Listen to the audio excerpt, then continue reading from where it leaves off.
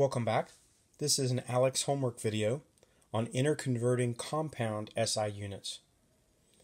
So a compound unit is anything that has two or more units combined mathematically in it. The one that everyone would recognize would be miles per hour. Miles is a length, hour is a time. So in the metric system would be kilometers per hour.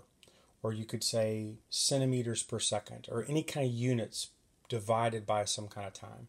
Per means divided by. So you've got some kind of a math problem using multiple uh, units. If you have compound units and you want to go from one to another, you do what we've previously done, and that is go to a base unit and then go back to whatever the new unit is. But just realize you've got more than one unit to deal with. So you'll have to do one and then take care of the second one.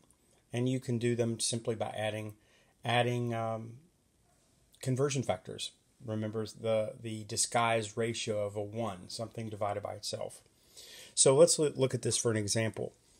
I've got 4.5 times 10 to the 7, so I have some amount of moles over kilogram meter squared. Okay, so I've got a math problem here. I've got moles divided by kilograms, also divided by meters times meters. So I've got moles over kilograms times meters times meters and I want to change it to moles over grams times centimeters times centimeters. Now moles are the same, so I don't have to I don't have to change the top one, but I do have to change kilograms to grams, and I have to change meters to centimeters twice because it's meters times meters going to centimeters times centimeters. So really you're just going to have whatever this number is, just keep it there, and then just keep adding multiples of 1 to where the units change. Okay, I'll give an example. This is going to be 4.5 times 10 to the 7. Now, I'm going to write, first of all, what I'm starting with. Okay, I'm starting with that. Now, I don't know if you recognize meters times meters. I'm going to write it twice because I need to get rid of it twice. I need to do it twice, so I, I write it twice so I, I can cancel it twice. So let's do kilograms first. I've got it on the bottom. I want to get rid of it on the bottom, so I'm going to put it on the top.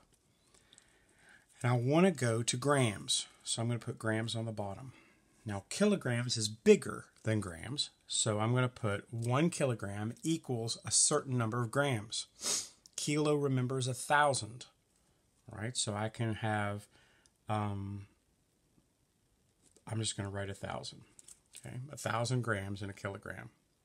Now, kilograms have canceled because I have one on the bottom, one on the top. So I'm not done yet because my meters are still in the way. So I'm going to get rid of meters, but I have to do it twice. So I'm going to get rid of this one. It's on the bottom, so I'm going to put one on the top. In one meter, how many centimeters? Because that's where I'm going. I'm going to centimeters. How many centimeters are there in a meter? The meter is the bigger number, so I'm going to write 1 meter equals. Centa is 100. So there are 100 centimeters in one meter. So one of these meters cancels. Okay, but I still have another one to get rid of. So I have to do this step twice.